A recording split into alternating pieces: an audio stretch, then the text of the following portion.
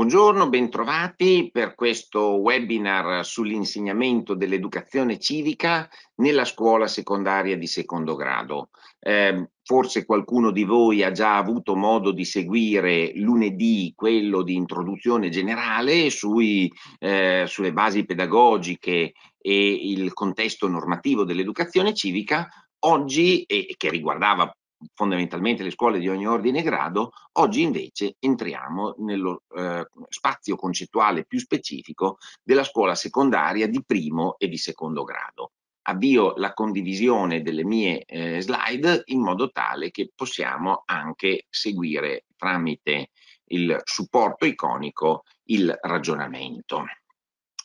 Allora, nella eh, lezione scorsa, quella di lunedì, che comunque potete recuperare online, eh, ero partito con una riflessione di Platone che in qualche modo andava a strutturare l'idea eh, della necessità di costruire una specie di città interiore, di costituzione interiorizzata nei bambini, nei ragazzi, attraverso il mezzo educativo. Aristotele, che di Platone fu allievo, nella politica fa una riflessione che apparentemente è molto pragmatica, però particolarmente interessante all'inizio del nostro discorso. Aristotele ehm, scriveva il mezzo più importante per assicurare la stabilità della Costituzione e che al presente tutti trascurano è il sistema di educazione adatto alla Costituzione, perché non c'è nessuna utilità dalle leggi più utili, anche ratificate da tutto il corpo dei cittadini, se questi non saranno abituati ed educati nello spirito della Costituzione, in maniera democratica, se le leggi sono democratiche, oligarchicas e oligarchiche e così via. Ci sono due elementi interessanti in questa riflessione di Aristotele. Il primo è che ogni Stato, e lui su questo è abbastanza aperto di pensiero, dice, ma le costituzioni che possono eh, caratterizzare eh, la struttura profonda di uno Stato sono fondamentalmente sei monarchia, tirannide, aristocrazia, oligar- oligarchia, democrazia, politia. No? Quindi in qualche modo lui intravede eh, diciamo, sei possibilità, alcune più re- eh, rette, altre un po' più degenerate. Chiaro che la tirannide è la degenerazione della monarchia. Ma l'aspetto interessante è che per ognuna di queste tipologie di Costituzione è necessario chiedersi qual è lo stile educativo più adeguato. Per cui è evidente, se una società è democratica, i cittadini dovranno essere educati alla partecipazione. Se una società è monarchica, i sudditi dovranno essere educati a obbedire. Poi Aristotele in realtà eh, ha un pensiero che va oltre questo pragmatismo, ma è interessante, sempre leggendo a titolo esemplificativo nella politica, quando si chiede come mai alcuni, alcune forme istituzionali durano a lungo e altre invece eh, naufragano dopo poco tempo, dice ma una delle variabili è l'educazione. Addirittura lui fa l'esempio degli oligarchi di seconda generazione, dice ma come nasce una oligarchia? Nasce perché vanno al potere quelli che sono più forti, quelli che sono più capaci di prendersi il potere. Solo che i loro figli, se vengono educati nella mollezza, quando saranno grandi non saranno forti e non potranno tenere il potere. La cosa è, è, chiaro che nessuno piangerà sulle sorti degli oligarchi di seconda generazione e si rammaricherà per una oligarchia che finisce. Ma la cosa interessante è quanto Aristotele vedesse con chiarezza il potere generativo eh, dal punto di vista sociale dell'educazione. A anni di distanza, John Dewey, che non vede sei possibili costituzioni, lui ne, ne, vede direttamente una, la democrazia, in un testo del 1916 che si intitola giusto appunto Democrazia ed educazione, Dewey precisa quale dovrebbe essere il rapporto, giusto appunto, tra democrazia e l'educazione che è eh, necessario mettere in campo in uno Stato democratico. Scrive Dewey, una democrazia è qualcosa di più di una forma di governo, è prima di tutto un tipo di vita associata, di esperienza continuamente comunicata, l'estensione nello spazio del numero di individui che partecipano a un interesse in tal guisa che ognuno deve riferire la sua azione a quella degli altri e considerare l'azione degli altri per dare un motivo e una direzione alla sua. Equivale all'abbattimento di quelle barriere di classe, di razza, territorio nazionale che impedivano agli uomini di cogliere appieno il significato della propria attività. E così. Mi fermo sul passaggio che ho voluto evidenziare di questa riflessione di John Dewey. Quando io chiedo anche all'università, Dewey è uno degli autori che evidentemente per chi insegna pedagogia eh, all'università mm, è un punto di riferimento necessario. E quindi mi capita di mostrare testi come questo anche ai miei studenti all'università. E io chiedo loro di farmi un esempio da loro direttamente sperimentato di una uh, decisione democraticamente assunta anche nella vita scolastica, no? E talvolta o spesso qualcuno di loro mi fa l'esempio, che so, del, dell'assemblea di classe per decidere dove andare in gita scolastica. E in più di una occasione questi ragazzi mi dicono, ma insomma, in fondo eh, abbiamo messo sul tavolo tutte le proposte, poi abbiamo messo ai voti, la maggioranza vince e questa è una decisione democratica. Fatto quell'esempio e rileggendo il testo di Dewey, e mi accura far loro notare che in realtà Dewey dice un'altra cosa, che la democrazia non è solo o soprattutto una forma di governo, cioè un sistema pragmatico per risolvere controversie quando non, si riescono, non ci si riesce a mettere d'accordo, ma è un modo di pensare e di essere. Quindi in teoria in una condizione di tipo democratico, il fatto di mettere continuamente ai voti perché non ci si riesce a mettere d'accordo non è, eh, diciamo, la condizione abituale, non è la condizione ideale di una democrazia ben riuscita. L'altro elemento che vorrei eh, far notare è questo. Dewey e tutti coloro che hanno fatto studi di tipo pedagogico, anche in termini, cioè diciamo non in senso eh, esclusivo, cioè non prendendo una laurea in scienze dell'educazione, eh, molti di noi lo sappiamo, Dewey è eh, il padre dell'attivismo pedagogico. E qui mi torna buono il discorso di Aristotele. Per ogni tipologia di costituzione c'è un tipo di educazione. Allora, un'educazione scolastica di tipo passivo, trasmissivo, che rende le persone passive, è adatta a generare sudditi obbedienti, soldati obbedienti, non cittadini attivi di una società democratica. Questo Dewey lo vedeva con grande lucidità e chiarezza già nel 1916 quando scrive questo testo e la, l'attivismo pedagogico, cioè la proposta di una scuola attiva che parta dagli studenti e non tendenzialmente che li renda passivi, è in fondo, eh, diciamo così, la condizione educativa per poter avere una società democratica. Quindi Dewey è, potremmo dire in sintesi, attivista perché democratico, non democratico e attivista. Le due cose sono strettamente connesse, intimamente legate e sono anche uno spunto di riflessione per noi. Il terzo spunto di riflessione che vorrei rilanciare in partenza, sempre come base concettuale del discorso di oggi, riguarda il modo in cui ciascuno di noi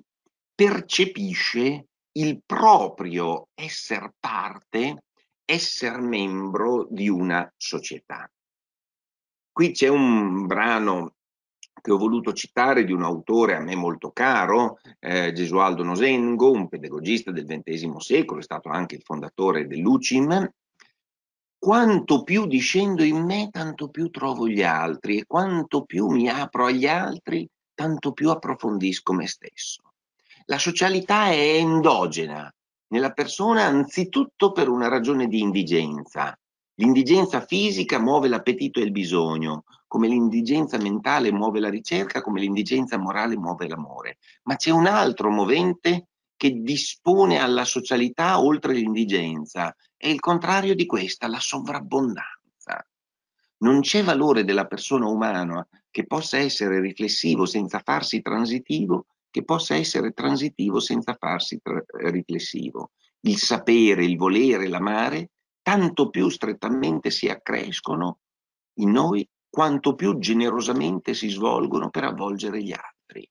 E troncare il filo dell'intimità sarebbe interrompere la comunione, come troncare il filo della comunione sarebbe spezzare l'intimità. Questa idea che Nosengo riprende da Jacques Maritain, altro autore particolarmente significativo e eh, a cui dedicherò un'ultima eh, suggestione di riferimento,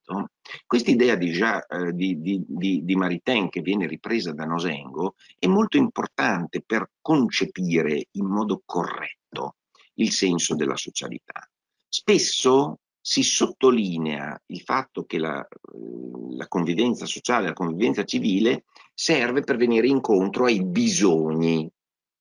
Noi, è chiaro che noi non potremmo eh, vestirci se non ci fosse qualcuno che eh, fosse in grado di fare i vestiti, non potremmo eh, vivere in un'abitazione se non ci fosse qualcuno in grado di costruirla e così via. Quanto più la società è complessa, tanto più la divisione del lavoro diviene necessaria e quindi diciamo anche l'umana socievolezza è necessaria per eh, mh, andare incontro ai bisogni fondamentali. Ma l'indigenza strutturale che ci fa socievoli è tale soprattutto sul piano delle realtà materiali. Sul piano spirituale c'è innanzitutto una naturale sovrabbondanza che vorrei esemplificare in questo modo. Io in questo momento ho una bottiglia d'acqua, è acqua, state tranquilli, ehm, una bottiglia d'acqua eh, e se fossimo in presenza io potrei offrirla ai presenti. È chiaro che questa bottiglietta da mezzo litro io la potrei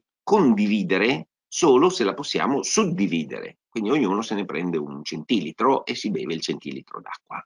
Per i beni materiali le cose funzionano così. Se io invece però in questa riflessione che condivido con voi riuscissi a mettervi a disposizione anche solo una idea, quella idea che dalla mia mente prende forma, si rigenera nella vostra, non viene suddivisa, ma condividendola si moltiplica. Ecco, nell'ordine delle cose spirituali le cose funzionano così. Condividere un atto d'amore significa moltiplicarlo, condividere un'idea significa moltiplicarla, non significa suddividerla, non significa spartirla. Ecco quindi che è importante andare alle sorgenti della socialità per eh, coglierne la dimensione anche e soprattutto spirituale. L'ultima sollecitazione iniziale che mi serve a completare questa mini cornice teorica, la cornice teorica più ampia, come vi dicevo, è quella che eh, ho proposto nel webinar di lunedì scorso, è un'idea alta del bene comune. Traggo questa riflessione da Jacques Maritain, che ho già citato anche come fonte di Nosengo, e vorrei eh, che leggessimo assieme questo bel eh, brano di un'opera del 1948, La persona umana e il bene comune. Ciò che costituisce il bene comune della società politica non sono dunque soltanto l'insieme dei beni o servizi di utilità pubblica o di interesse nazionale, strade, porti, scuole, che presuppone l'organizzazione della vita comune nelle buone finanze dello Stato, nella sua potenza militare, non è soltanto il tessuto di leggi giuste, di buone usanze, sagge istituzioni che danno alla nazione la sua struttura, né l'eredità dei grandi ricordi storici, dei suoi simboli, delle sue glorie, delle sue tradizioni vive, dei suoi tesori di cultura. E uno potrebbe già fermarsi qui e dire, beh, se nel bene comune della nostra società chi ne ha la cura garantisse bene anche solo questo, avremmo di che essere contenti. Ma Maritain punta molto più in alto. Il bene comune comprende tutte queste cose, ma anche qualcosa di più profondo, di più concreto e di più umano, perché racchiude anche ed la somma o l'integrazione sociologica di tutto ciò che vi è di coscienza, di virtù politiche, di senso del diritto e della libertà, di tutto ciò che vi è di attività, di prosperità materiale, di ricchezze dello spirito, di sapienza ereditaria messe inconsciamente in opera, di rettitudine morale, di giustizia, amicizia, felicità, virtù, eroismo nelle vite individuali dei membri della comunità, in quanto tutto questo sia in certa misura comunicabile e si riversi in certa misura su ciascuno e aiuti così ciascuno a completare la sua vita e la sua libertà di persona. Tutto ciò costituisce la buona vita umana della moltitudine. Solo un esempio per rendere un po' più eh, concreto, a, a, portata di immaginazione questo discorso, diciamo, molto pregnante di Jacques Maritain. Lo prendo dall'attualità. In questi giorni noi eh, siamo stati colpiti, tra le altre, dalla notizia del comportamento indegno dei carabinieri di una stazione carabinieri di Piacenza carabinieri che rappresentano eh, l'arma per eccellenza, l'arma con le forze dell'ordine più diffusa in tutta Italia, più vicina al cittadino, che durante il tempo del Covid, vi ricordate, i carabinieri andavano a prendere la pensione per le persone che non erano in grado di andarsela a prendere o portavano a, i computer a casa dei bambini per la didattica a distanza. Insomma, quindi in questo senso questo è nell'immaginario immaginario comune la rappresentazione che abbiamo giustamente dell'arma dei carabinieri. E che, perché? Ma perché abbiamo questa rappresentazione? Perché tutto ciò che di buono ha fatto ciascuno di loro nel corso degli oltre 150 anni della loro storia, in qualche modo si è riversato come una specie di capitale morale su tutto il gruppo, sull'arma. È chiaro che nel momento in cui invece qualcuno è indegno di questa eredità, di questo capitale morale, giustamente subito il ehm, comandante generale dell'arma dei carabinieri ha detto queste persone non sono degne di portare la divisa, cioè non sono degne di far parte di questa comuni comunità. Suppongo verranno presto radiati, tra le altre cose, spero anche che paghino per i loro misfatti. Quindi questa idea, nel bene e nel male potremmo dire, tutto ciò che di virtù, sapienza, in qualche modo appartiene ai membri di una comunità, si riversa su tutti e su ciascuno e allo stesso modo evidentemente anche il loro contrario. Ecco, questo è importante visualizzarlo perché è una um, consapevolezza molto potente dal punto di vista educativo e ritornerà in uno dei passaggi della mia proposta di curricolo di educazione civica. Completo, come dicevo, questa cornice iniziale segnalando che mh, mm, tengo sullo sfondo tre documenti dell'Unione Europea, due documenti dell'ONU che ovviamente non presenterò in modo analitico, ma che vorrei che al di là delle indicazioni, eh, delle linee guida del Ministero, che poi saranno invece il testo sulla base del quale andremo a svolgere le nostre proposte di, di progettazione curricolare, però vorrei che tenessimo anche questi documenti un poco sullo sfondo, nel background eh, mentale che ci accompagna in questo lavoro. Allora, tutti conosciamo perché ha avuto buona uh, fortuna anche nella uh, normativa scolastica la raccomandazione del Parlamento europeo e del Consiglio d'Europa sulle competenze chiave per l'apprendimento permanente. Eh, nel 2016, forse meno conosciuto, il Consiglio d'Europa ha, ha prodotto un documento sulle competenze per una cultura della democrazia a cui farò riferimento e ovviamente nel 2018 abbiamo avuto la revisione della raccomandazione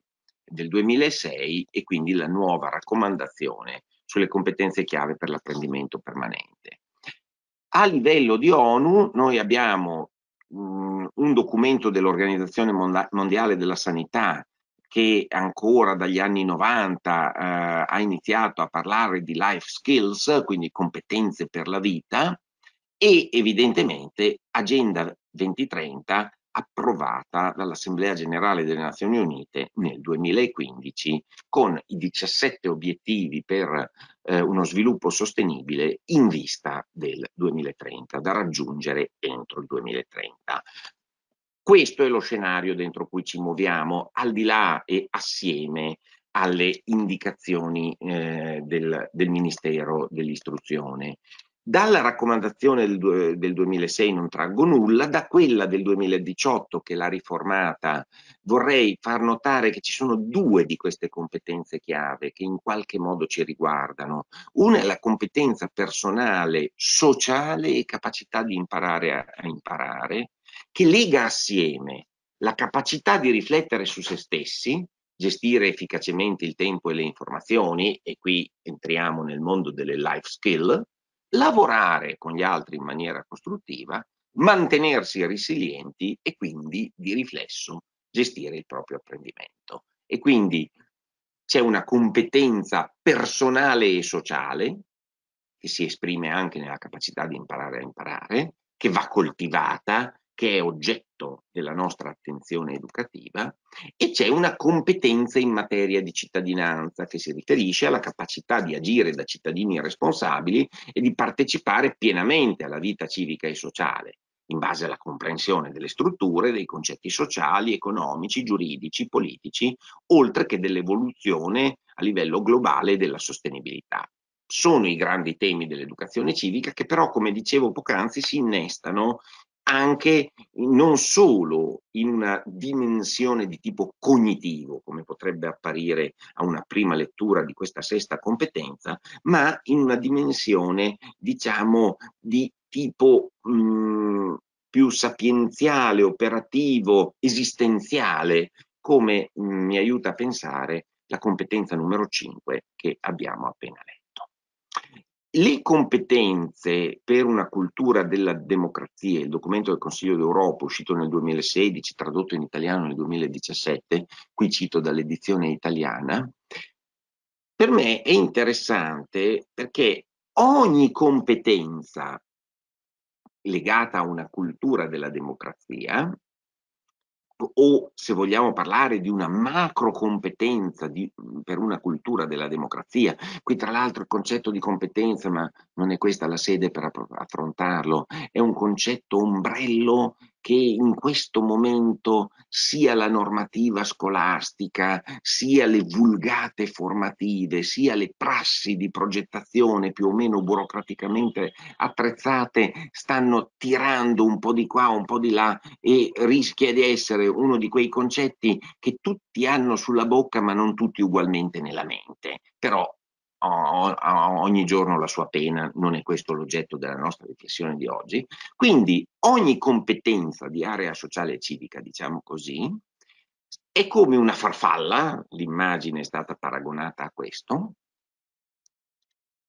che può spiccare il volo se fa leva su quattro elementi, atteggiamenti, attitudini, valori conoscenza e comprensione critica. Cioè una competenza di cittadinanza, una competenza per una cultura della democrazia non può limitarsi per esempio alle conoscenze di area sociale e civica, ma deve sempre simultaneamente chiamare a raccolta conoscenze, attitudini, atteggiamenti e valori. Ecco, tutto questo assieme può far volare le nostre competenze eh, di cittadinanza. Solo l'uno o solo l'altro di questi elementi evidentemente rimane ehm, diciamo una, uh, un'indicazione più statica, più statica, meno dinamica. Fatta que- documenti ovviamente sono di facile reperibilità e quindi potete approfondire ciascuno di questi elementi anche andando direttamente a eh, consultare i documenti, i documenti che ho citato. Adesso,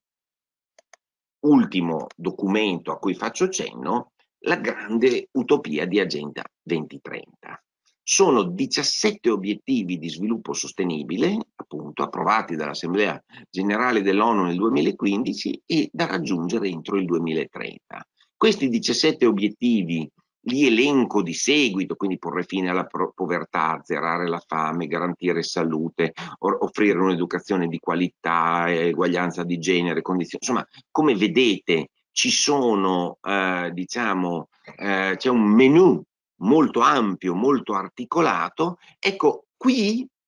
al di là, io ho utilizzato il termine utopia, no? Perché il lessico è quello quasi aziendale dell'obiettivo da raggiungere, il contenuto degli obiettivi sembra molto elevato, ma questo non ci esime da fare la nostra parte, la nostra parte per promuoverli. In realtà però, se, visto che noi lavoriamo nella scuola, in realtà Agenda 2030, se assunta non tanto come un programma di marcia che i nostri ragazzi debbono mettere in atto entro, so, ma per quest'anno dati questo obiettivo, ma come una paideia di riferimento, cioè una visione complessiva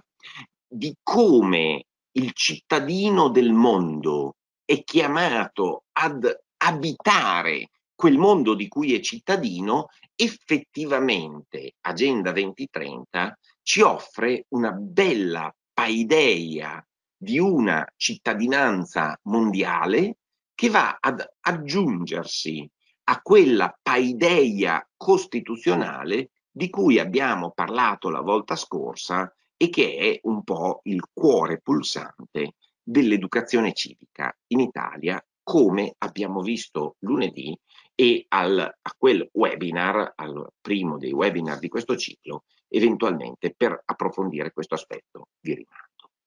Qual è quindi lo spazio progettuale in cui ci collochiamo noi, tenendo conto anche di queste ulteriori suggestioni che ho voluto chiamare a raccolta? Noi dobbiamo lavorare su un curriculum di istituto di educazione civica che ovviamente si inserisce all'interno del curriculum di istituto che già va a strutturarsi nel eh, piano triennale dell'offerta formativa. Teniamo però presente che, come per tutto, più ancora per l'educazione civica, noi avremo un curriculum esplicito e di questo oggi ci occupiamo, ma abbiamo anche un curriculum implicito di educazione civica che è già scritto nelle prassi consolidate del, nel, della nostra scuola, nel regolamento di istituto, nel modo in cui viene gestito il patto educativo di corresponsabilità, nel modo in cui vengono gestiti gli spazi di partecipazione degli studenti. Cioè tutto questo è già un curriculum implicito, nel modo in cui i nostri studenti di scuola cattolica vivono il senso di appartenenza alla comunità scolastica di cui fanno parte. Quindi questi elementi che noi magari abbiamo già curato a prescindere, perché ci teniamo e ci teniamo perché sono cose importanti, entrano nel curriculum di istituto. Si tratterà di valorizzarne le potenzialità perché già fanno parte del nostro curriculum implicito di educazione civica.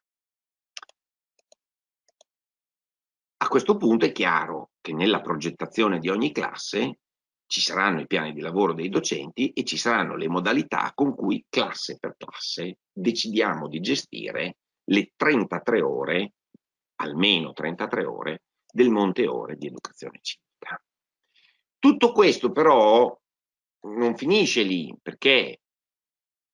la domanda finale, se, per questo sono voluto partire la volta scorsa da Platone, oggi da Aristotele e Dewey,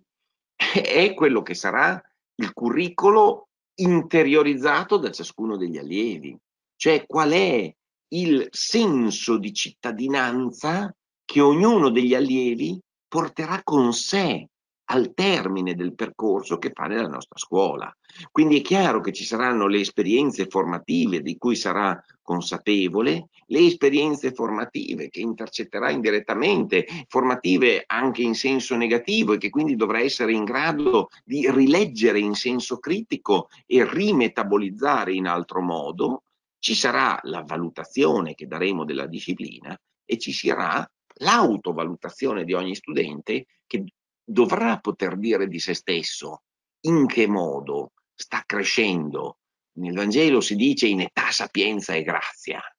Qui bisognerà dire in cultura, professionalità e anche cittadinanza. Ecco, questo a mio avviso è lo spazio dentro a cui ci andiamo a collocare.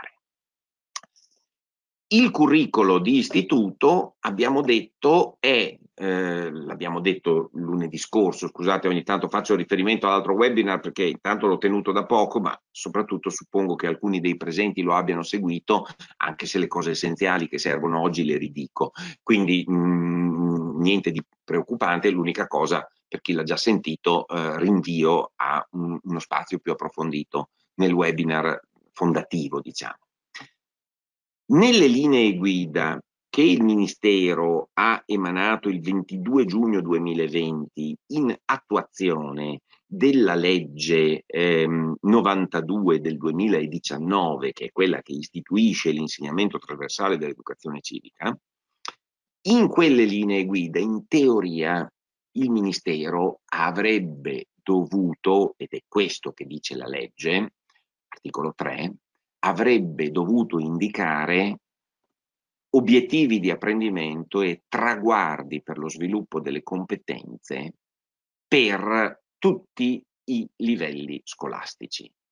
Questo era quello che avrebbe dovuto fare il gruppo di lavoro ministeriale e che avrebbe dovuto fare quindi il Ministero con l'emanazione delle linee guida. Le linee guida sono state lungamente attese, sono arrivate nel cuore dell'estate, il 22 di giugno, di un anno peraltro un po' particolare, Covid, didattica a distanza e quant'altro, e mh, mancano di quello che era l'elemento essenziale. Allora, quindi è chiaro che questa mancanza viene poi, come spesso capita, riversata sulle scuole, istituzioni scolastiche autonome e quindi statali o paritarie, da questo punto di vista non vi è differenza, che quindi devono, e qui dice eh, l'allegato A, cioè le, le, le linee guida del Ministero, collegio docenti, nell'osservanza dei nuovi traguardi del profilo finale del rispettivo ciclo di istruzione definiti nelle presenti linee guida, allegati a BC che ne sono parte integrante, provvede nell'esercizio dell'autonomia di sperimentazione di cui è l'articolo 6 di PR 275-99 a integrare nel curriculum di istituto gli obiettivi specifici di apprendimento e i risultati di apprendimento delle singole discipline con gli obiettivi, risultati e traguardi specifici per l'educazione civica, utilizzando per la loro attuazione l'organico dell'autonomia.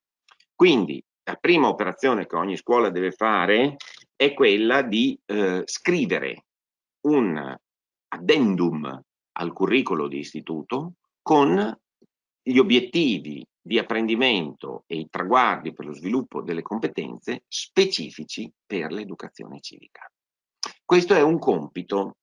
che eh, diciamo, la norma attribuisce alle istituzioni scolastiche. Buona notizia è che i vincoli non sono molti e quindi è chiaro che ogni scuola potrà anche avere una certa libertà di interpretazione di questo mandato Tant'è vero che le linee guida del Ministero prevedono tre anni di sperimentazione in cui le scuole faranno quello che c'è scritto qui, quindi eh, redigono questo curriculum di istituto, faranno quello che c'è scritto qui, ma al termine di questo triennio di sperimentazione, che inizia con l'anno scolastico 2021, naturalmente il Ministero dovrebbe emanare le linee guida con anche obiettivi e traguardi e eventualmente ci si augura recependo quanto di meglio emergerà dalla libera sperimentazione delle scuole autonome. Il Ministero non ha previsto, quantomeno per ora non ne ho notizia, una sperimentazione nazionale in questo senso. Nel webinar di lunedì scorso abbiamo ipotizzato che la FIDAE come tale potrebbe comunque fare da punto di riferimento per le istituzioni scolastiche eh, autonome collegate alla, aderenti alla FIDAE in modo tale che quello che ciascuna di esse avrà elaborato eh, in via ipotetica, eventualmente eh, anche aggiustando nel corso del tempo, possa poi essere monitorato ed eventualmente diventare oggetto anche di proposta al Ministero che potrebbe essere, ci siamo detti la volta scorsa, una uh, proposta FIDAE per uh, diciamo andare incontro a quella che è una lacuna deliberatamente prevista nelle linee guida e che quindi nell'arco di tre anni andrà anche colmata. Come si procede per la progettazione di istituto? Qui scusate, sarò molto pragmatico, anche concreto, spero. Eh, il primo passo, tra l'altro io in questo momento sto lavorando con qualche scuola eh, che lavora esattamente in questo modo, quindi ho anche in mente concretamente nomi, volti di persone che stanno lavorando in questo modo. Il primo passo è quello di costituire ovviamente una commissione eh, che eh, raccolga colui che sarà individuato come referente a livello di istituto e coloro che in qualche modo si suppone potrebbero essere i responsabili di classe per questo insegnamento. L'insegnamento prevede che volendo tutti i docenti contribuiscano dal punto di vista culturale e volendo portino un contributo anche dal punto di vista valutativo, ma ci vuole uno che ne abbia la responsabilità per ogni classe, che verosimilmente sarà quello che svolgerà il maggior numero di ore di educazione civica in, sen in senso stretto. E quindi a mio avviso il fatto di raccogliere il referente di istituto e i referenti di classe in una commissione, a mio avviso, è la cosa più semplice, pragmaticamente parlando. La Commissione elabora alcune ipotesi di organizzazione del curriculum da sottoporre chiaramente al collegio docenti. Il collegio vaglia le proposte della Commissione mh, mm, sulle modalità di, generali di organizzazione di questo curriculum e ovviamente delega i consigli di classe per la eh, progettazione di dettaglio. In realtà, prima dei consigli di classe, io penserei a un passaggio per i dipartimenti disciplinari. Per cui il discorso è questo ed è anche quello che ho visto mh, nel, nelle scuole con cui sto lavorando in questo periodo.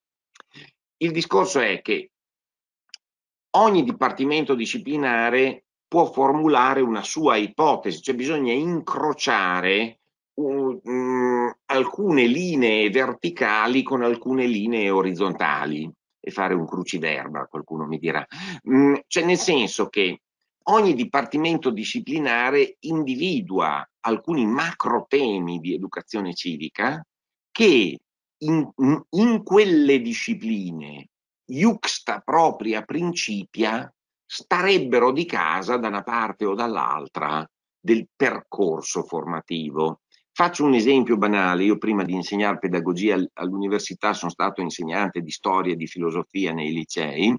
eh, per vent'anni e, e, quindi in questo senso eh, penso alla storia e alla filosofia dei, nel, nel, triennio dei licei com, come spazio esemplificativo che mi può essere d'aiuto. Allora è chiaro che io potrei dire da prof di storia, quando è che parlo della Costituzione? Boh, in quinta, quando la affronto dal punto di vista storico, l'assemblea costituente o cose del genere. Come prof di filosofia potrei dire quando è che parlo di alcuni temi che riguardano la cittadinanza, le leggi e così via, ma fin dalla terza, nel momento in cui c'è Socrate, c'è Platone, c'è Aristotele, ve li ho anche citati, insomma, chiaramente sono tutti autori che mi introducono tematiche di grande portata sociale, civica. Naturalmente però io sto parlando da prof di storia e filosofia, e quindi questi temi di educazione civica sono prima un argomento di storia o un argomento di filosofia, poi indirettamente diventano una suggestione trasversale nell'ambito dell'educazione alla cittadinanza. Però da qualcosa bisogna partire. Quindi la prima ipotesi è come i dipartimenti disciplinari scandirebbero nel tempo alcune delle principali tematiche attinenti all'educazione civica che gli insegnanti di quelle discipline ritengono di poter o dover presidiare. I consigli di classe dovrebbero fare il punto dal punto di vista orizzontale, perché è chiaro che se noi ci limitiamo a fare una specie di sommatoria no, per giusta posizione di quel che salta fuori dai dipartimenti disciplinari, noi non abbiamo un, il quadro organico di una disciplina. Noi abbiamo tanti pezzetti affastellati che stanno insieme senza arte né parte, diciamo così. Quindi è chiaro che la seconda operazione è quella da parte dei consigli di classe di cercare di vedere anno per anno che come stanno assieme e eventualmente se qualche proposta possa essere più utile in un anno precedente o in un anno successivo, anche retroagendo sul lavoro dei dipartimenti disciplinari perché non è detto che il modo in cui siamo abituati a fare le cose sia un modo stabile, eterno, per sempre. Tra l'altro vi ho citato Dewey e la didattica attiva proprio per far pensare anche a un modo di intendere le discipline che non sia semplicemente l'erogazione di un programma immutabile nunc et pro semper. No? Quindi il Consiglio di classe elaborano le proposte formative specifiche per l'anno in corso a partire dalle ipotesi predisposte dai dipartimenti, ma anche tenendo conto anche di altre variabili, come per esempio la coerenza complessiva dell'offerta formativa, la forza che possono avere alcuni agganci interdisciplinari, per cui se più discipline convergono su alcuni nuclei forti, allora valorizziamo soprattutto quelli. Questa commissione specifica, quella che ho detto all'inizio, dovrebbe raccogliere le proposte formative che verranno messe in atto quest'anno per verificarne la coerenza complessiva, eh, la completezza di trattazione rispetto ai temi fondamentali, possibili aggiustamenti da condividere, anche eh, diciamo da restituire ai dipartimenti disciplinari perché il prossimo anno si possano portare gli adeguamenti opportuni e in qualche modo individuare i bisogni formativi dei docenti per procedere ad azioni di formazione in servizio mirate. Chiaro che per me quest'anno bisognerebbe anche dal punto di vista formativo lavorare un po' significativamente sull'educazione civica. Come dire, se non ora quando? Poi l'educazione civica piace da tempo, in realtà ci, ci lavoro già da tempo, però questo, come proposta a voi direi insomma che quest'anno è un anno, eh, è un kairos, un tempo opportuno anche per lavorare sull'educazione civica dal punto di vista della formazione docenti. Arrivo quindi, fatta questa analisi di tipo procedurale dei vari passaggi, a proporre quello che personalmente considero spero, vediamo se, eh, un um, modello sostenibile. Per questo triennio di sperimentazione, quindi prevedendo diciamo una certa flessibilità nell'attuazione, cioè che è, io allora preciso eh, il senso del mio dire, è improbabile che con le linee guida uscite a fine giugno, eh, un ragionamento che stiamo facendo adesso a fine luglio noi il primo settembre eh, abbiamo già eh, definito quel curriculum di istituto che non avrà più bisogno di nessun aggiustamento perché l'abbiamo già pensato talmente bene che non ci sarà bisogno di nessun aggiustamento, curriculum di istituto di educazione civica. Io sono convinto che questi tre anni, visto che ci sono dati, eh, tanto vale prenderseli per eh, diciamo questa sperimentazione triennale. Quindi io lavorerei per approssimazioni pro, eh, progressive. Quindi in primo luogo e soprattutto per quest'anno che è il primo anno di prima attuazione, effettuare una ricognizione preliminare. Questa commissione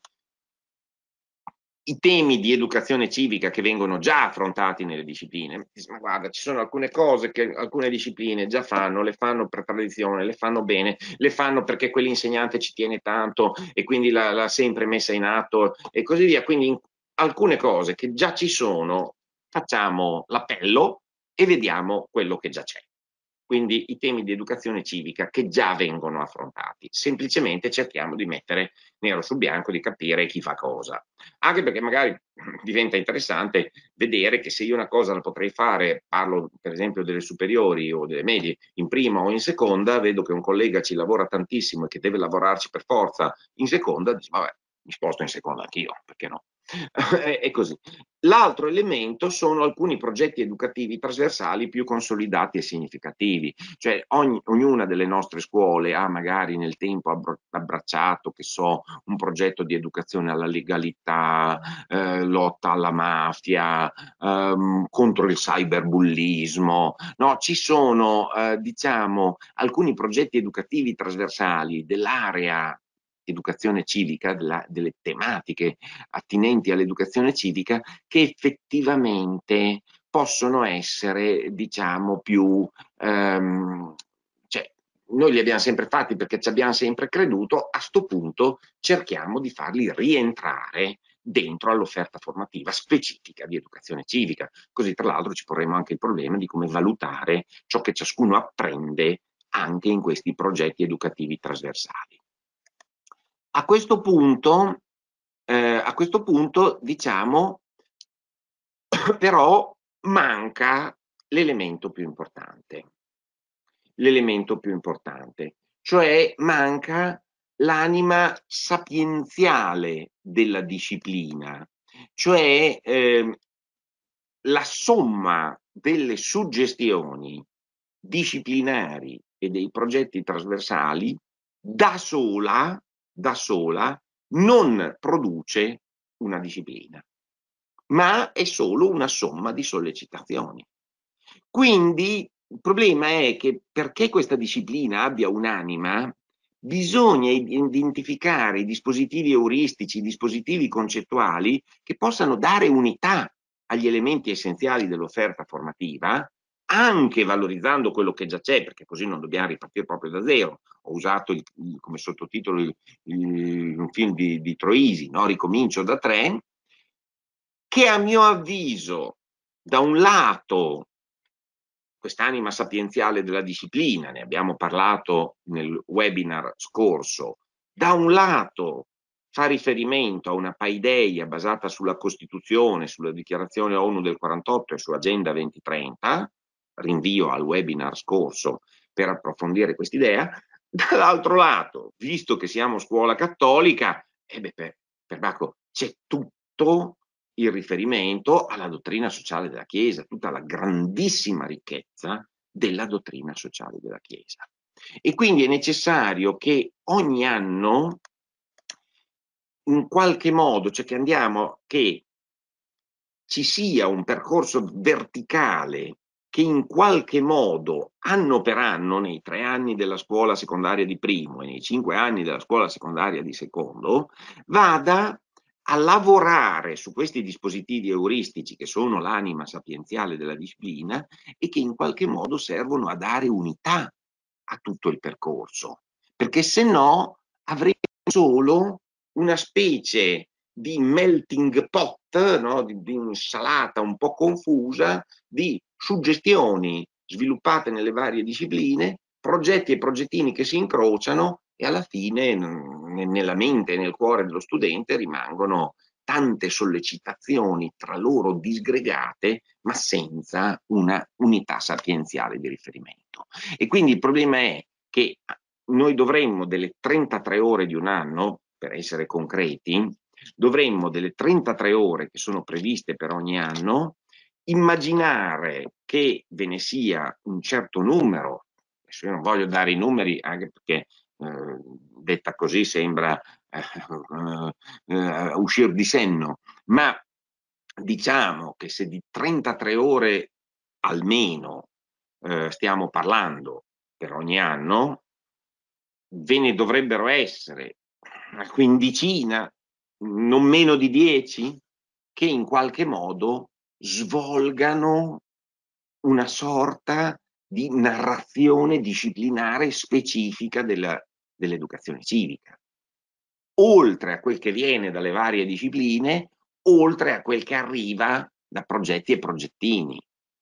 Per cui una parte anno per anno ci sia, non dico un programma da svolgere, perché il Ministero non, non ha eh, dato l'indicazione specifica e vincolante di obiettivi e traguardi, però noi ce li dobbiamo dare, anche in quel senso, cioè non solo desumerli per via induttiva da ciò che già si fa, ma anche incrociarli con un'idea della disciplina che dovremmo avere chiara per primi noi nella mente. Ma su questo ancora dirò qualcosa perché in parte siamo qui per questo. E a un certo punto verificare, e vedremo rispetto a cosa, la completezza dei temi, perché non è che se per caso in una scuola tutti gli insegnanti sono fissati con l'educazione ambientale, per cinque anni di scuola superiore facciamo sempre educazione ambientale, un anno il riciclaggio, un altro anno i rifiuti, un altro anno il riscaldamento globale, un altro anno invitiamo Greta Thunberg, non so cosa, e della Costituzione non parliamo mai. No? Cioè, quindi in qualche modo è importante che ci sia anche diciamo, una plausibilità culturale complessiva anche in rapporto alla completezza dei temi. Quindi questa è in estrema sintesi, tramite appunto questa mappa concettuale, quello che riterrei un modello disciplinare sostenibile per la scuola secondaria di primo e di secondo grado. Tornando sull'anima sapienziale della disciplina, elemento che ho voluto mettere al centro dello schema di qui sopra, è essenziale che questo insegnamento non rappresenti solo una sequenza più o meno ben ordinata di contenuti, magari trattati nelle discipline come parte del discorso specifico della disciplina. È essenziale che abbia un'anima, una paideia di riferimento in cui il Magistero della Chiesa, a questo punto io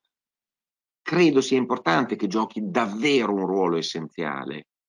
Potremmo dire che comunque ci vuole una scienza rectrix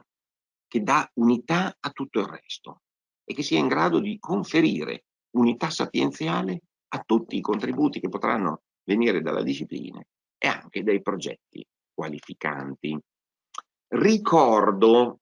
per chi non li avesse proprio sulla punta della lingua, assieme alla Costituzione, do per nota, alla Dichiarazione universale dei diritti dell'uomo dell'ONU, che do per nota, ad Agenda 2030, che do per nota o quasi perché ormai se ne parla da tempo, Ricordo i principi della dottrina sociale della Chiesa, che qui riassumo in estrema sintesi, sempre con lo strumento della mappa concettuale, che diventano, a mio avviso, il valore aggiunto che le scuole cattoliche possono portare nell'organizzazione culturale di una disciplina come questa. E quindi il fondamento, la persona creata a immagine e somiglianza di Dio e la persona umana come soggetto libero, spirituale, aperto alla trascendenza, unica, ognuno è unico, socievole per natura, ne abbiamo già parlato eh, nella prima parte di questo, di, di, di, questo webinar, e la dignità della persona, come dice anche il preambolo della Dichiarazione universale dei diritti dell'uomo dell'ONU, è anche il fondamento dei diritti umani. Tutto questo trova nella, voi potete far riferimento al codice per la dottrina sociale della Chiesa che sintetizza un po' tutti i contributi delle varie encicliche che sono uscite in, nell'arco di oltre cent'anni di storia della dottrina sociale della Chiesa, quindi in qualche modo questa prima parte del, um, diciamo, di questo codice della dottrina sociale della Chiesa che in qualche modo si sofferma sulla persona umana come immagine di Dio. I principi veri e propri della dottrina sociale della Chiesa sono il principio del bene comune, cioè un riferimento forte al bene comune. Io qui non ho null'altro da aggiungere, troverete dei riferimenti magisteriali evidentemente, ma non ho null'altro da aggiungere se non suggerirvi di scorrere le slide un po' all'indietro e riprendervi quella in cui vi presento l'idea del bene comune secondo Jacques Maritain, che ovviamente si è nutrito profondamente di un'idea di persone del magistero sociale della Chiesa che eh, ritrovate nella definizione di Maritain. La destinazione universale dei beni terreni. I beni terreni, tutti i beni terreni, hanno per natura una loro destinazione universale, pro tempore può esserci un uso privato di alcuni di essi da parte di alcuni. Una volta che mi sono costruito una casa, diciamo che quella è casa mia. Ma eh, nel momento, ma in generale, i beni della terra non sono di qualcuno, sono di Dio e destinati a tutto il genere umano. Quindi se qualcuno ne viene ingiustamente privato, è un atto di giustizia il riportare questa destinazione universale dei beni della terra. Il principio di sussidiarietà. Il principio di sussidiarietà è un elemento centrale della dottrina della Chiesa. Nel mondo della scuola cattolica è anche un tema ricorrente che per lo più viene applicato e collegato al principio di libertà di educazione e all'idea che le famiglie, per esempio, dovrebbero poter scegliere la scuola che ritengono più adatta rispetto al progetto educativo che loro stesse hanno nei confronti dei propri figli e quindi da questo punto di vista credo di sfondare una porta aperta nel sottolineare l'importanza del principio di sussidiarietà, è evidente che in un corso di educazione civica uno spazio vada dedicato al principio di sussidiarietà come uno dei principi cardine della dottrina sociale della Chiesa. Abbiamo inoltre il principio di solidarietà. Mm, spesso c'è una retorica della solidarietà. Nella dottrina sociale della Chiesa il principio di solidarietà non è un generico volemos e bene che eh, ri rimanda ad una retorica della solidarietà, ma è un principio vero e proprio, vincolante, vincolante, per cui c'è un dovere di solidarietà, di cui peraltro parla anche la Costituzione della Repubblica Italiana. La Costituzione della Repubblica Italiana recepisce tra i principi fondamentali il dovere della solidarietà mentre il principio di sussidiarietà è stato inserito nella Costituzione non tra i principi fondamentali, non tra i primi 13 articoli, e solo nel 2001, la riforma del titolo quinto della Costituzione, però a questo punto nella Costituzione c'è finito alla fine anche il principio di sussidiarietà. Però, tra l'altro, diventa anche interessante utilizzare questi principi della dottrina eh, sociale della Chiesa in un gioco di specchi, per leggere anche gli altri documenti di cui ho parlato, cioè la Costituzione, la Dichiarazione universale dei diritti dell'uomo e Agenda 2030. C'è il principio di partecipazione che comporta un riferimento ai valori fondamentali della vita sociale. Ci sono alcuni valori che sono alla base della vita sociale, che sono la verità, la libertà e la giustizia. Cioè una società non può esistere se non si fonda su questi tre valori. Guardate, c'è una bellissima espressione che ritroviamo in Sant'Agostino di Ippona, nella città di Dio, che ad un certo punto si chiede, dice, ma se manca la giustizia, che cosa sono gli stati se non ben organizzate compagnie di briganti. Cioè, che differenza c'è tra una ben organizzata compagnia di briganti, la nave dei pirati, potremmo dire, e uno Stato? Che ci sono delle leggi?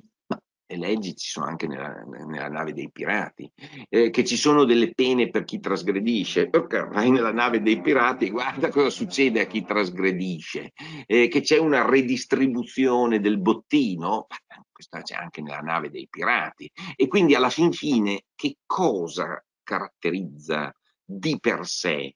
la ordinata convivenza del genere umano di, e che è diverso rispetto alla nave dei pirati o alla ben organizzata compagnia di briganti, questi valori di riferimento, la verità, la libertà, la giustizia. Ecco, io credo che ehm, quest, mh, mm, questo nucleo concettuale che ho sintetizzato nei principi della dottrina sociale della Chiesa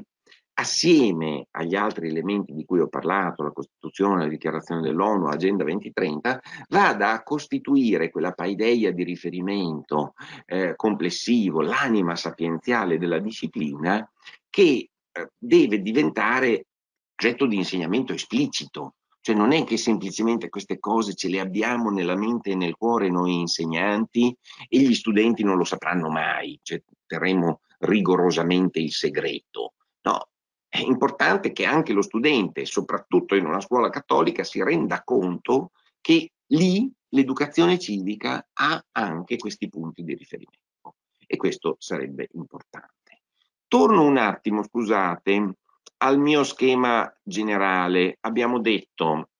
anima sapienziale della disciplina che costruisca un percorso verticale sui dispositivi euristici, cioè questi elementi che ho qui indicato, e a un certo punto verificare la completezza dei temi. Allora, come ho detto già, noi non disponiamo eh, di eh, obiettivi e traguardi definiti dalle linee guida ministeriali perché questo compito non l'hanno assolto,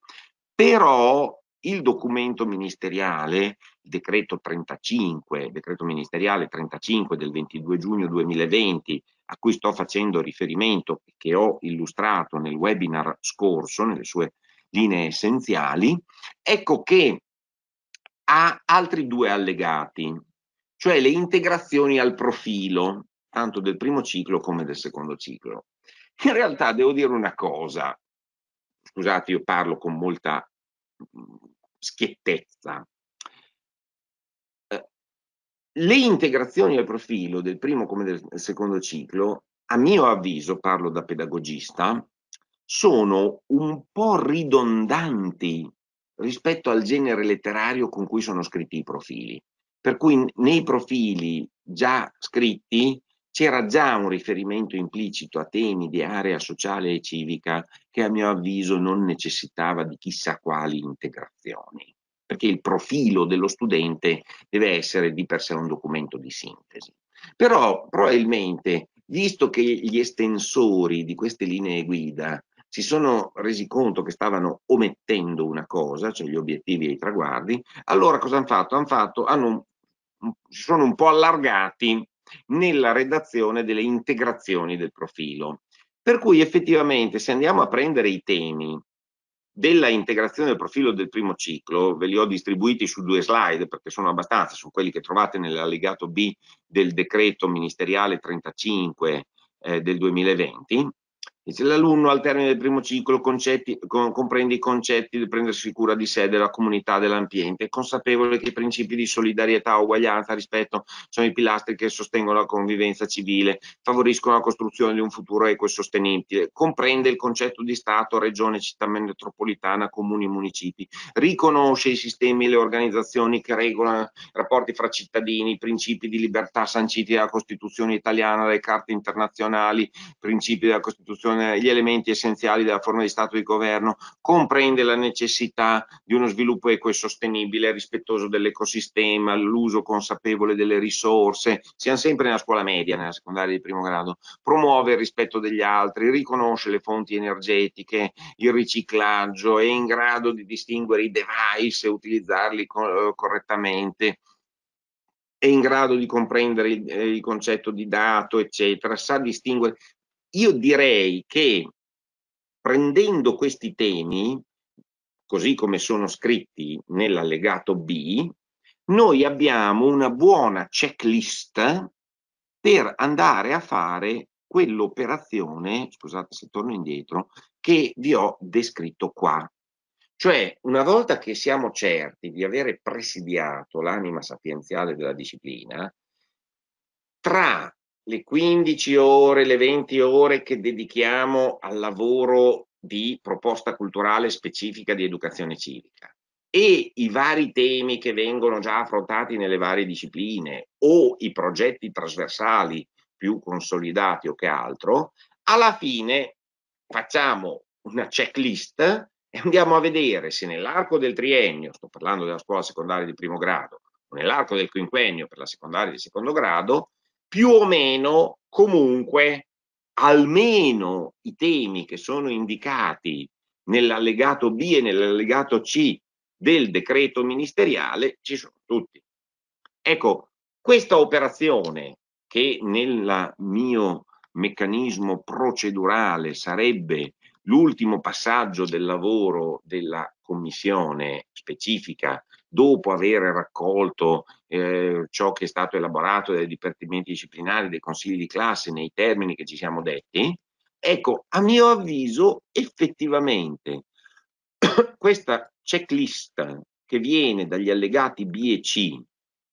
integrazione del profilo del primo ciclo, e allegato C, integrazione del profilo del secondo ciclo, tanto semplicemente il copia e incolla de, dell'allegato C, anche qui in due slide, no? come vedete conoscere i valori che ispirano gli ordinamenti comunitari, consapevoli del valore delle regole, esercitare le modalità di rappresentanza, partecipazione cioè, come vedete, qui si mescolano conoscenze, abilità, attitudini, eh, competenze sociali e civiche, perché la capacità di partecipare al dibattito culturale non è la stessa cosa che dire so uh, quali sono, eh, diciamo, eh, le, le,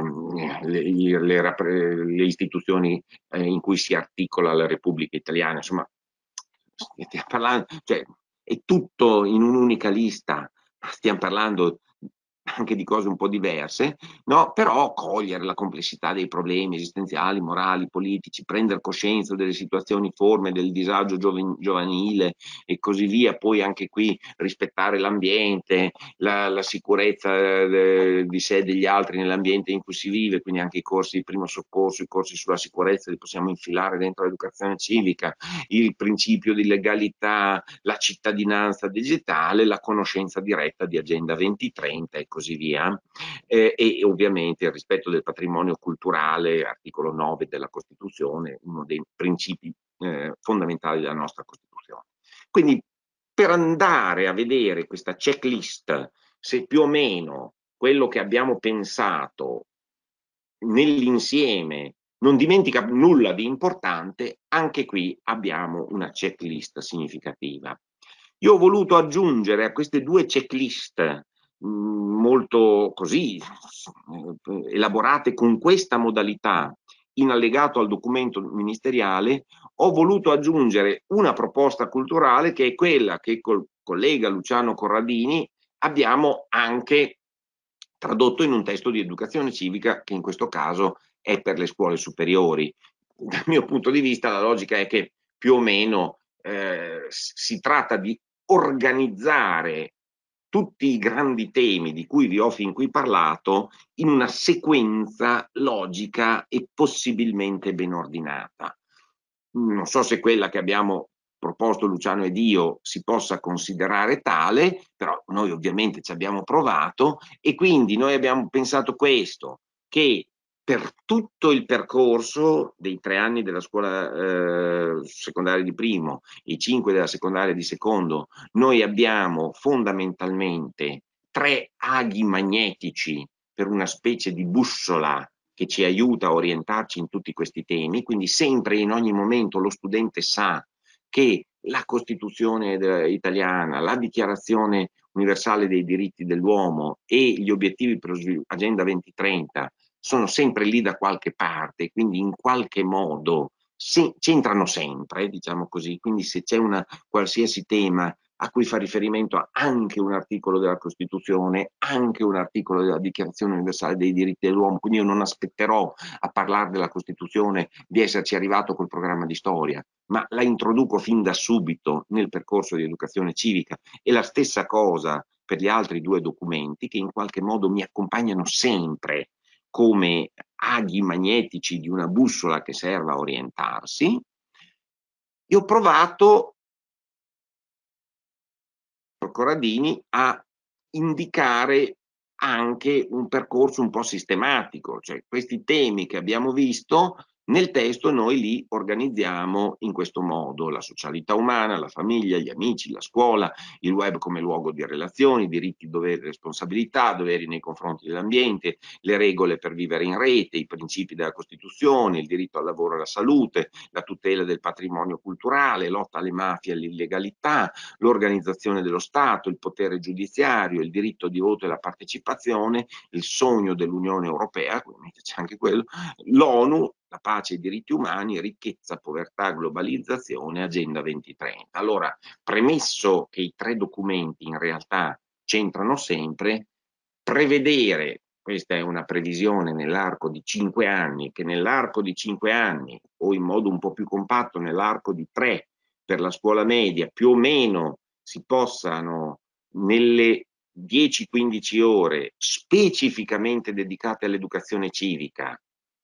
mettere in sequenza due o tre di questi macro temi all'anno ci serve a dare un po' di unità a quello che poi uno va a pescare nelle varie discipline, a quello che salta fuori dai vari progetti, progettini che ogni scuola nobilmente e spesso con ottimi risultati già è abituata a mettere in campo. E quindi in questo caso eh,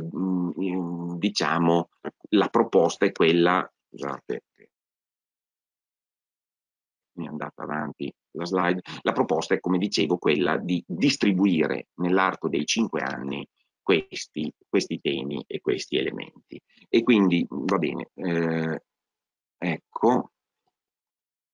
qui scusate ma ho avuto le slide che mi sono partite, vi lascio alcuni consigli di lettura per eventualmente approfondire anche ciò che eh, eh,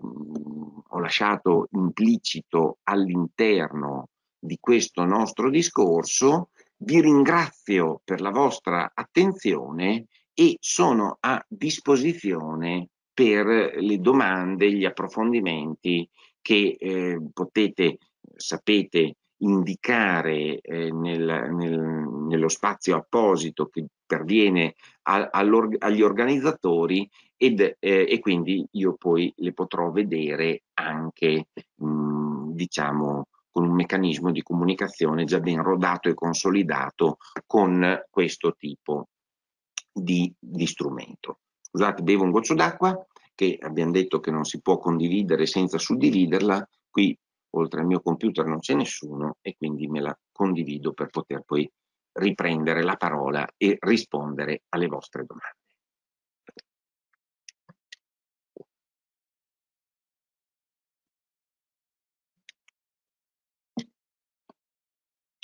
In attesa che esse prendano forma, semplicemente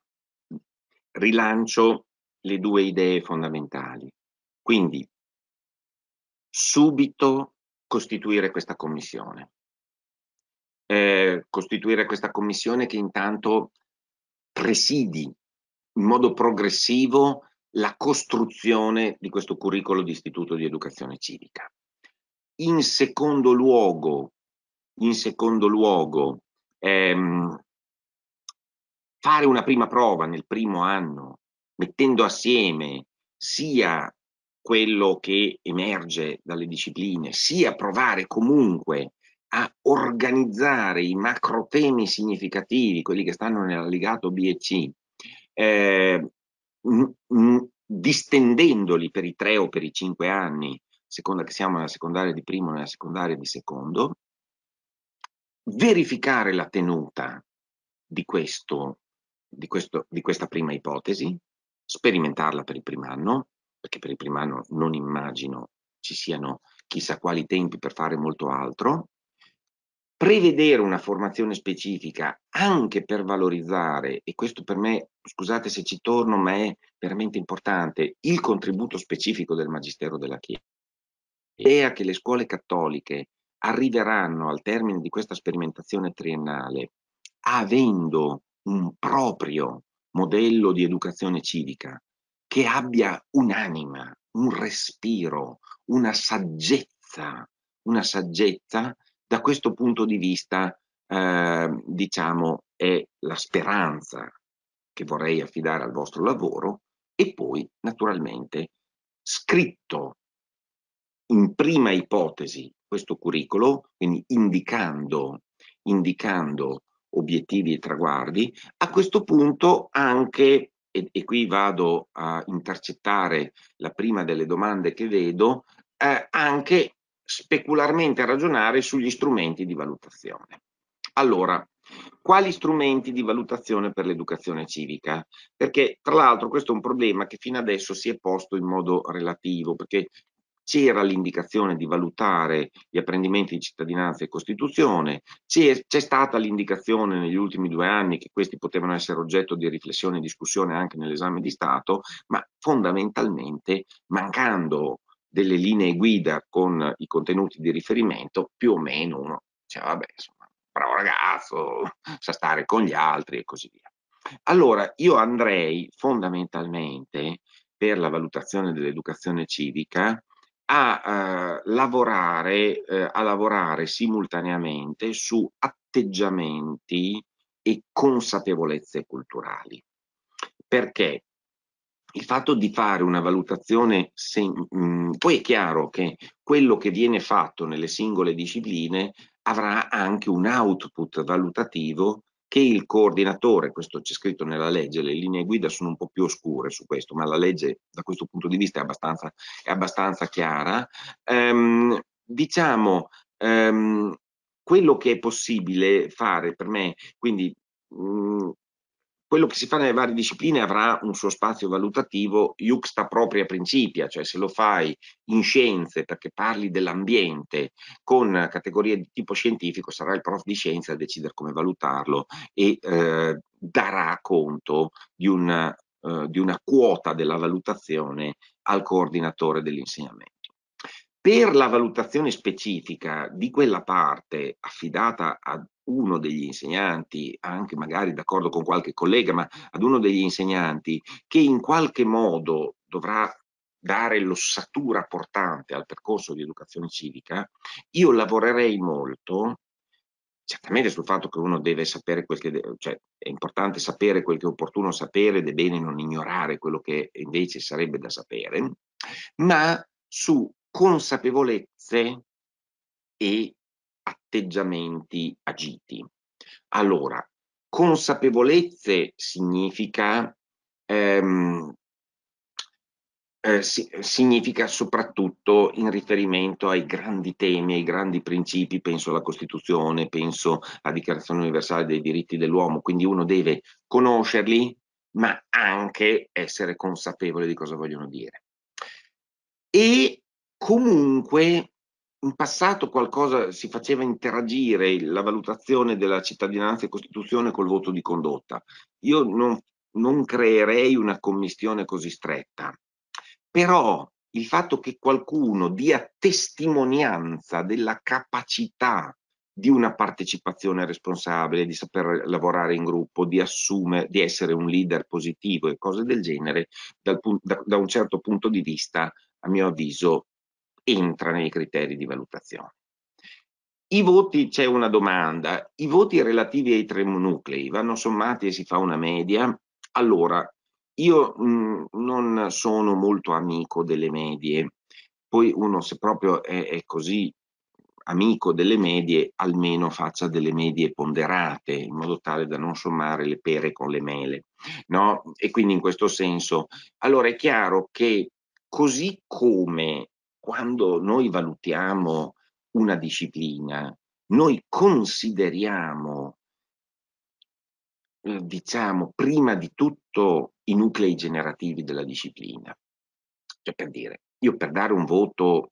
vabbè, adesso l'università in pedagogia, ma torniamo al liceo così mi, mi sento giovane, e per dare un voto in filosofia, per dare un voto in filosofia, poi rispondo alla domanda sugli, sugli insegnanti di religione, per dare un voto in filosofia è chiaro che uno mi doveva eh, avere studiato Platone, Aristotele, San Tommaso, tutto quello che abbiamo fatto. Però poi io avevo una mia valutazione anche stratificata, cioè il fatto che uno avesse sensibilità, capacità di andare a fondo nei problemi o che altro poteva da un certo punto di vista pesare di più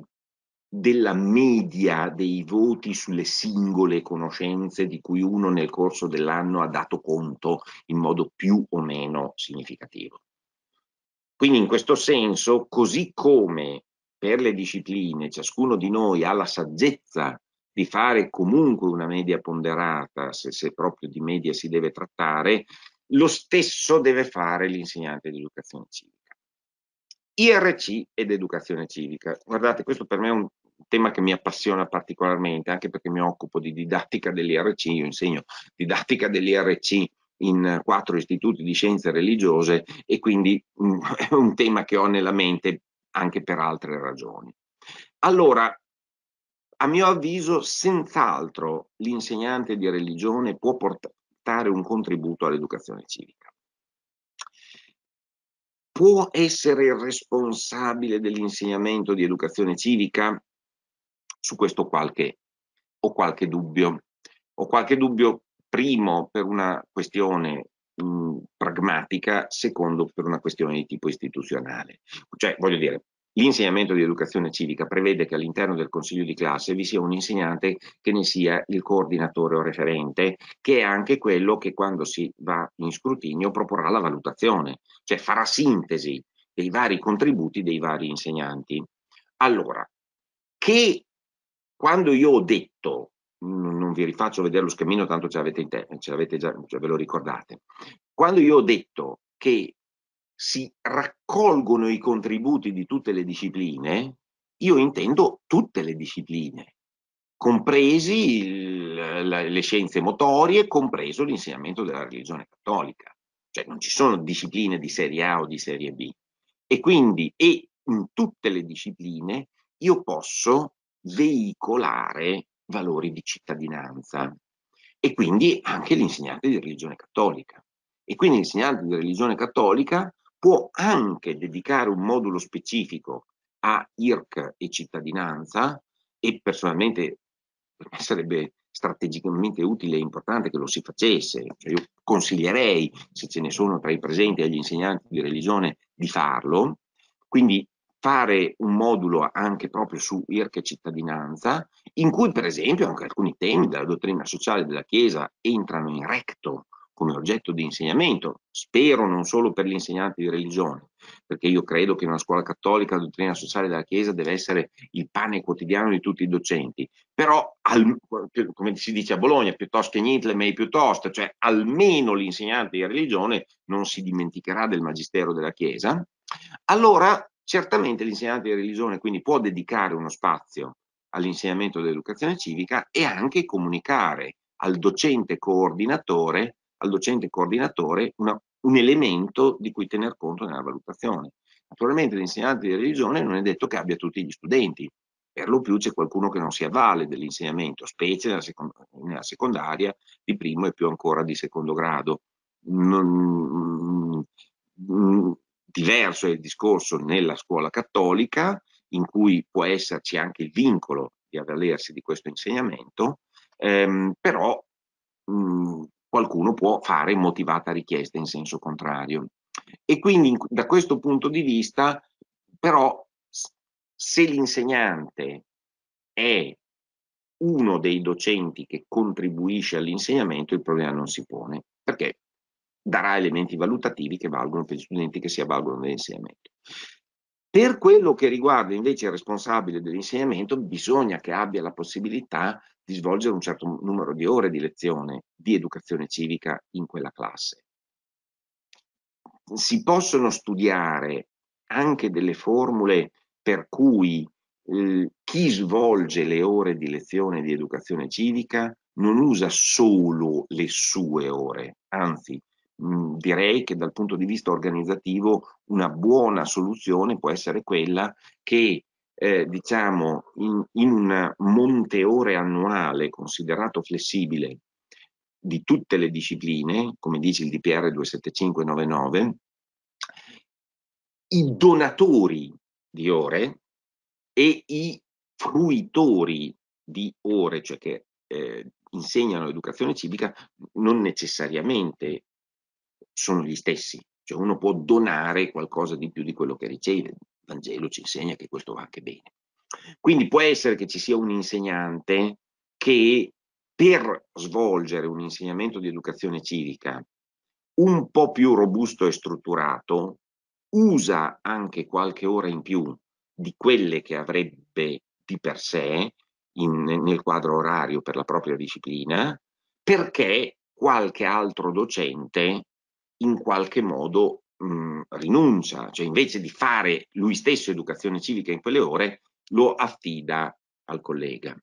Questo si può fare, cioè è la logica del, della sperimentazione ex articolo 6 di PR 275-99, cioè dell'autonomia scolastica. Quindi questo certamente si può fare. che l'insegnante che fa le 15 ore di educazione civica in una determinata classe sia quello di religione, ecco questo un po'